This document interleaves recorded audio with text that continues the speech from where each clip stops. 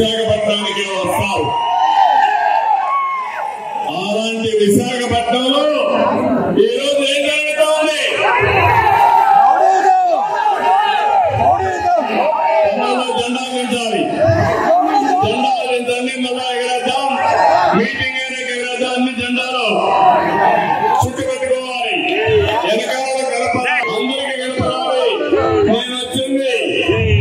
మీ అభిమానం కోసం వచ్చా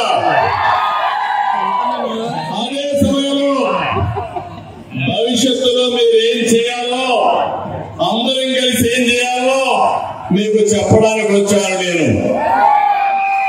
నా ఒక్కరి బలమే కాదు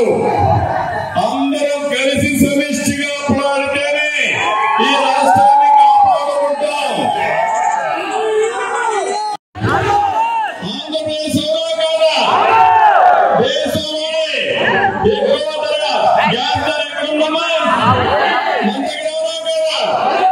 నేను దీపం పెట్టా. Gas cylinder ఇచ్చామా?